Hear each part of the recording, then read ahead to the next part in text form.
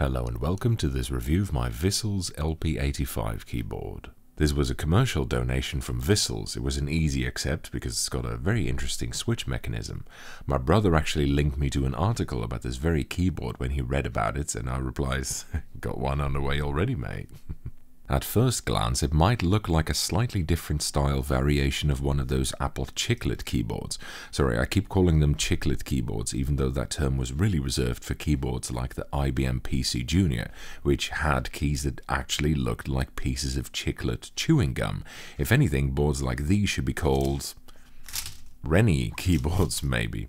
Anyway, it looks like one of those with their crappy membrane scissor switches, which are a type of low-profile rubber dome mechanism.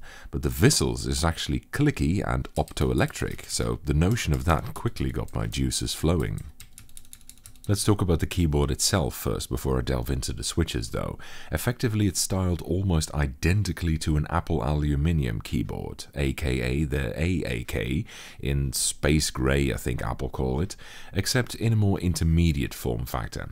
And it does also use scissor style switches, except it operates optoelectrically like I mentioned. And it has RGB, which Apple's keyboards don't have, or at least not yet I think.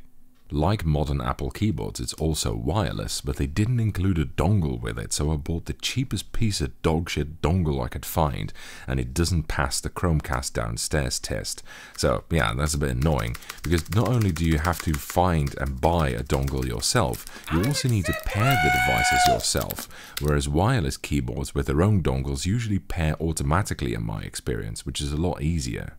It comes with a 2000 mAh battery in it, less than half of what the Keydous from the previous video had, but I guess it's kind of unavoidable for such a low profile board.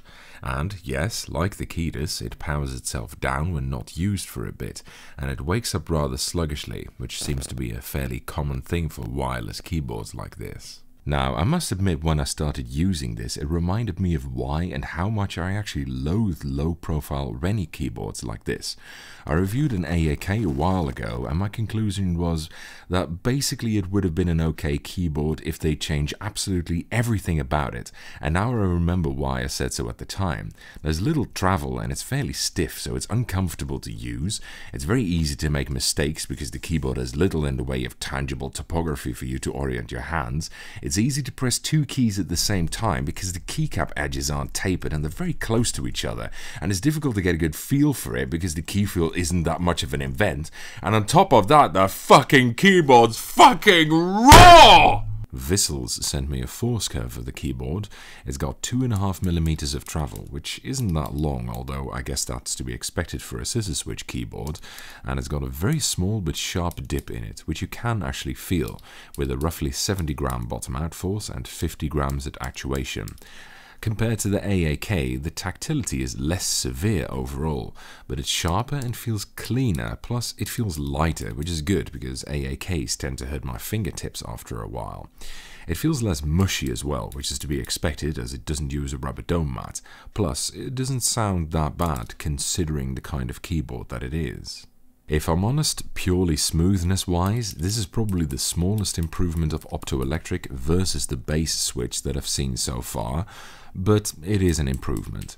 That said, it's absolutely insufficient to turn me off of my revulsion for Rennie keyboards, and I don't really like using it, so I won't be giving this keyboard a spin very often after today. I can no longer allow the international Rennie keyboard conspiracy to sap and impurify all of my precious bodily fluids. I know there is a very large base of users, especially modern ones, who really like this style of keyboard for typing, and perhaps this would be a nice choice for them, but I myself am rather disappointed to be completely honest.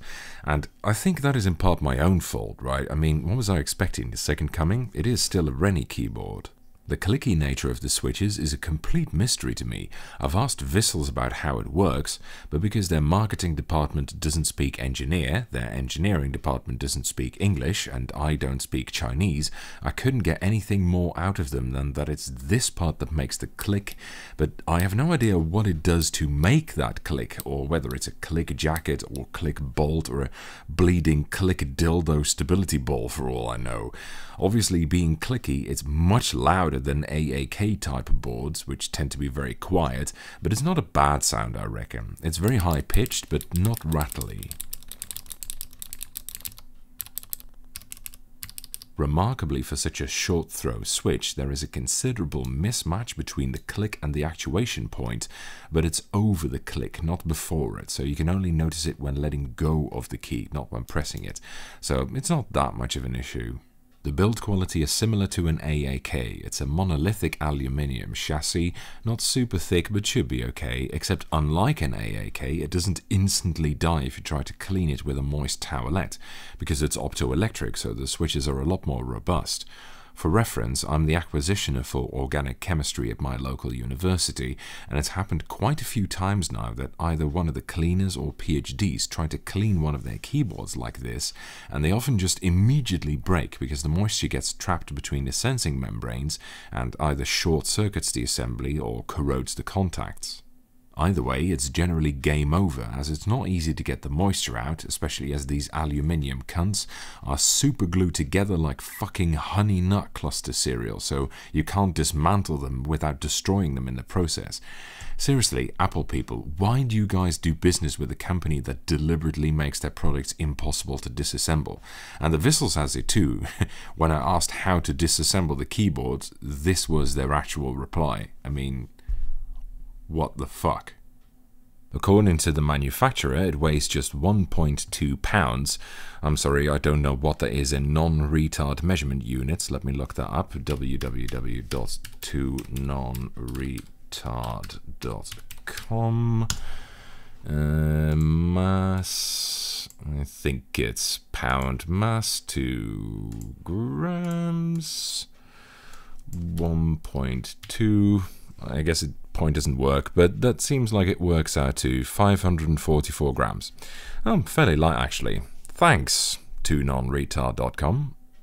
The keycaps appear to be thin laser ablated ABS. They come off somewhat easily. I think so far I've had two or something come off but I've been able to put them back on without any permanent damage, I think, which can be an issue with many other scissor switch caps. Like I said, I really hate that they're not tapered and so flat. It's very frustrating to use for me. Personally, I'd recommend something like the Havit keyboard I reviewed earlier if you want something low profile with caps that don't suck major ass through a straw. The caps lock key is backlit ridiculously badly, but admittedly it's the only key that suffers from this. The lighting overall isn't too bad, I guess.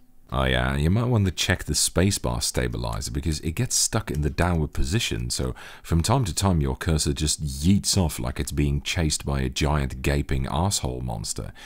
Yeah, I guess I was a bit grumpy when I wrote this part of the review.